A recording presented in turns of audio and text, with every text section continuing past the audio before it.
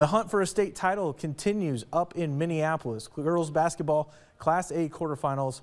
Buffalo Lake Hector Stewart Mustangs facing the Fosston Greyhounds. Good defense by the Mustangs.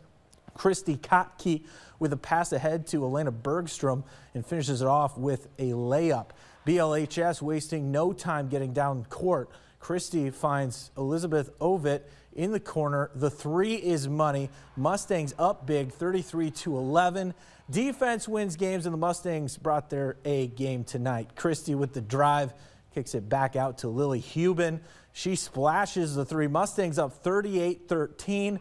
Eight seconds left in the first half. Mustangs looking for another bucket.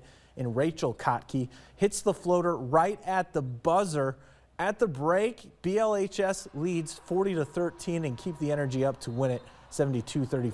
BLHS will face Mountain Iron Buhl in the Class A semifinals tomorrow at 2 in the afternoon. That's all for sports.